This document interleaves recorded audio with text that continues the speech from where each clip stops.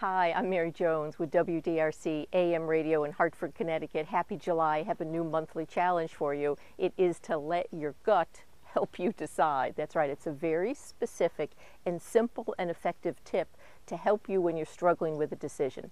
This is all you need to do. When you're faced with a decision, you're not quite sure what to do, just pause for a moment and pretend, just pretend that you've already made the decision and you're living with, you're feeling the consequences.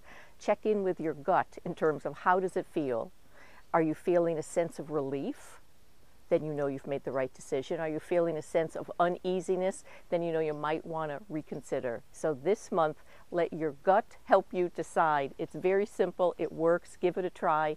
Thanks so much. As I always say, please remember to believe in yourself. Check out my website, maryjoneshow.com.